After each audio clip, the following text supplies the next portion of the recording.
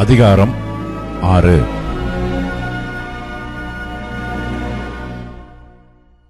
சீயோனிலே நிர்விசாரமா இருக்கிறவர்களும் சமாரியாவின் பர்வதத்தை நம்பிக்கொண்டிருக்கிறவர்களும் ஜாதிகளின் தலைமை எண்ணப்பட்டு இஸ்ரவேல் வம்சத்தார் தேடி வருகிறவர்களுமாகிய உங்களுக்கு ஐயோ.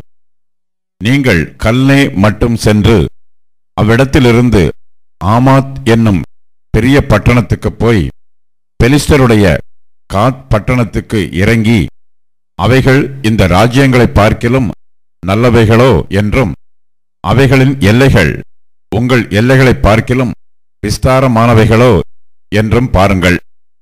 தீங்கு நாள் தூரம் என்றெண்ணி கொடுமையின் ஆசனம் கிட்டி வரும்படி செய்து தந்த கட்டில்களில் படுத்துக்கொண்டு தங்கள் மஞ்சங்களின் மேல் சௌக்கியமாய் சயனித்து மந்தையிலுள்ள ஆட்டுக்குட்டிகளையும் மாட்டுத் தொழுவத்திலுள்ள கன்றுக்குட்டிகளையும் தின்று தம்புரை வாசித்துப் பாடி தாவிதைப் போல் கீத வாத்தியங்களை தங்களுக்கு உண்டு பண்ணி பெரிய பாத்திரங்களில் மதுபானத்தை குடித்து சிறந்த பரிமள தைலங்களை பூசிக்கொள்ளுகிறார்கள்.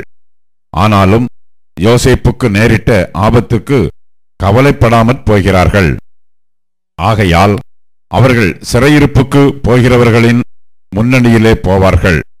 இப்படியே செல்வமாய் சயனித்தவர்களின் விருந்து கொண்டாடல் நின்று போகும்.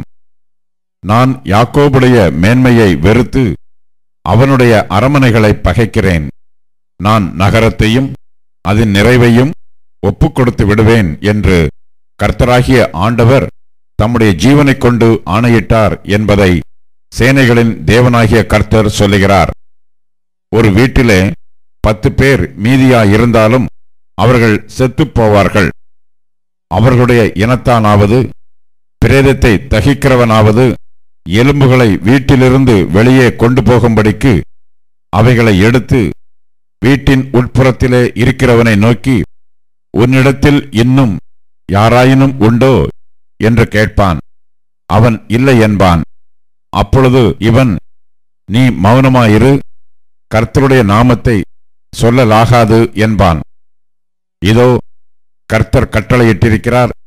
பெரிய வீட்டை திறப்புகள் உண்டாகவும் சிறிய வீட்டை வெடிப்புகள் உண்டாகவும் அடிப்பார். கண்மலையின் மேல் குதிரைகள் ஓடுமோ?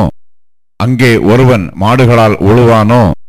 நியாயத்தை நஞ்சாகவும் நீதியின் கனியை எட்டியாகவும் மாற்றினீர்கள்.